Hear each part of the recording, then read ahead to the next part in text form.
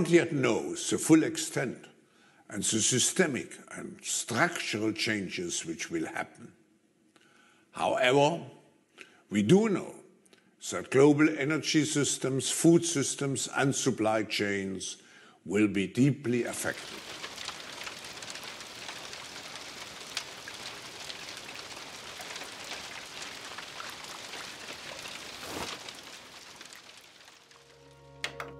Welcome to the year 2030. Welcome to my city, or should I say, our city. Boy, the uh, conspiracy theories are coming fast and furious these days. I can't keep up. I don't own anything. I don't own a car. I don't own a house. I don't own any appliances or any clothes. Uh, what we're talking about here is uh, kind of distrust of institution. In our city, we don't pay any rent because someone else is using our free space whenever we do not need it. My living room is used for business meetings when I'm not there. It's important that we look at what's happening right in front of us. Shopping? I can't really remember what that is.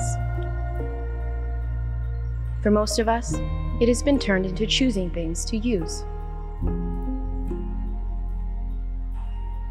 Sometimes I find this fun, and sometimes I just want the algorithm to do it for me. It knows my tastes better than I do by now. Control your soul's desire for freedom, it says. Any effort to succeed at delivering on the Sustainable Development Goals. My biggest concern is all the people who do not live in our city, those we lost on the way. Those who decided that it became too much, all this technology. Those who felt obsolete and useless when robots and AI took over parts of our jobs.